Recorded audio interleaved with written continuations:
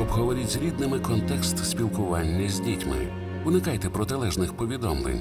Бережіть злагоду і мир у родині.